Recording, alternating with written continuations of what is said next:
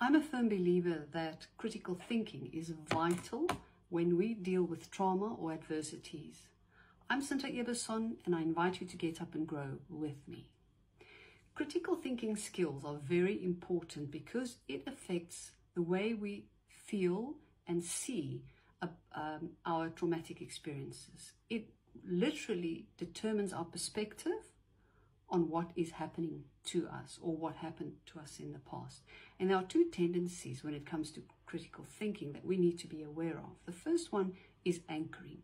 That means that I am so convinced of my own opinion that I am stuck there. I am not prepared to listen to new information or take it in or even consider it because that would mean, firstly, that I would have to admit that there's a possibility that my idea or my position or point of view is incorrect. And if I do that, it would mean that I have to discard everything that I've done so far and literally start over from scratch. The other tendency is uh, confirmation bias. And that means that we look for proof that confirms that we are correct. And I'm going to illustrate to you how this works in a relationship. Let's say we're having an argument, for example. If I'm anchoring, I'm so convinced that I'm right and the other person is wrong.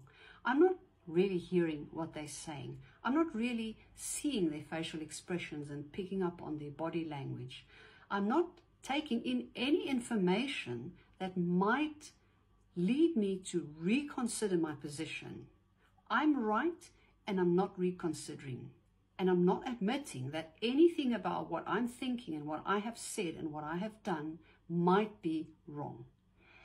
When I'm constantly searching for confirmation, we become so biased that in an argument or a conversation, or even if we're having a, a, a, challenge about something and we are by ourselves thinking about it or ruminating about the situation or what has happened, we are so hell bent on winning the argument or being correct or be the one who knows better or taking the higher ground that we will literally search for that specific facial expression that's going to prove to me that I'm right.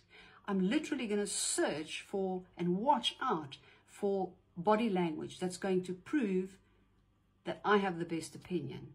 And I'm going to, in everything a person says, says to me, in an argument, over the telephone, in an email, in a WhatsApp message, whatever, I'm going to pick and choose among the words the ones that are going to confirm that I'm on the right track, that I'm going to win this argument that I'm right and the other person is wrong.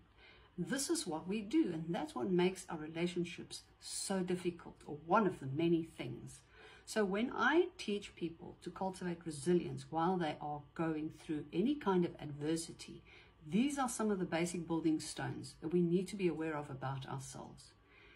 The moment we are aware of our tendency to anchor and our tendency to seek confirmation of our own bias, we have won half the war.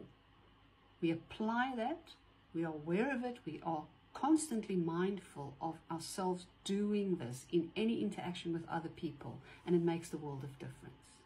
I'm Sinta Ebersohn, and I invite you to like this, share it, and join me in my Get Up and Grow community.